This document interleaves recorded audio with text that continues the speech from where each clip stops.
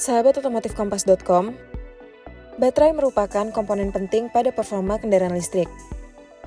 Namun, masa pakai baterai memiliki batas waktu yang mana bisa rusak atau kemampuannya menurun dalam kurun waktu tertentu. Baterai yang tidak terpakai tersebut akhirnya menjadi limbah baterai bekas yang mana mengancam lingkungan karena jadi pencemaran. Pengamat otomotif Bebin Juwana mengatakan, jika tidak salahnya, baterai kendaraan listrik dimanfaatkan kembali sebagai penunjang kegiatan lainnya. Menurutnya di mobil baterai itu sudah tidak kuat dalam arti kata tidak bisa menyimpan aliran listrik dalam kurun waktu yang lama. Namun untuk solar panel, untuk listrik yang dipakai di rumah itu baterai bisa dipakai untuk beberapa tahun. Bebin menyebutkan jika mobil memakai input dan output listrik yang besar, maka dari itu sebagai baterai kendaraan sudah tidak layak atau sudah dianggap rusak.